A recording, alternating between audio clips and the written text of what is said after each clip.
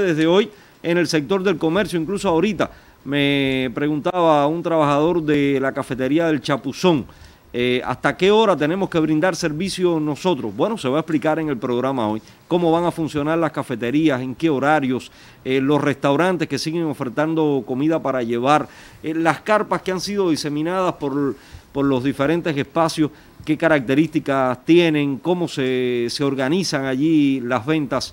Le escuchamos. Los presentes en estudio y al pueblo del pueblo de Granma. Primeramente, felicitar a todas las mujeres granmenses que están, están liderando hoy la batalla contra la COVID.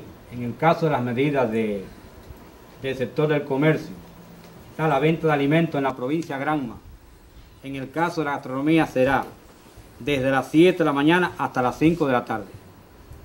En la ciudad de Bayamo se están creando 40 áreas en diferentes puntos de la ciudad.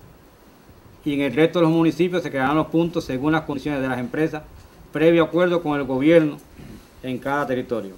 En las bodegas, mercados ideales, mercados industriales, puntos de venta de material de construcción, se trabajará hasta la una de la tarde.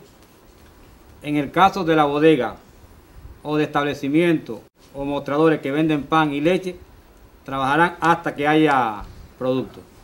En el Consejo Popular de San Juan y el Cristo, perteneciente a la ciudad de Bayamo, todas las ventas serán hasta la una de la tarde, tanto en el caso de las bodegas como de la gastronomía, excepto establecimientos que vendan pan y leche.